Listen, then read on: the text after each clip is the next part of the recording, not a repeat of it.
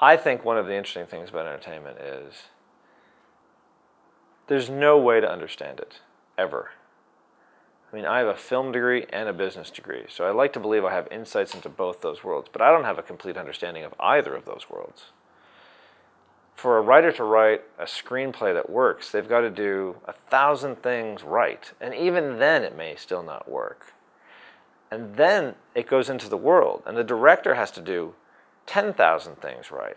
And then the marketing team has to do a thousand things. Like when you, if you look at it as, as, a, as, a, as a math equation and you multiply all those things together, the chances of success are one in whatever the largest number you can come up with is.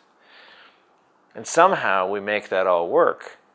But there is, when a film works, to me, it is a miracle because it could have gone wrong so many different ways.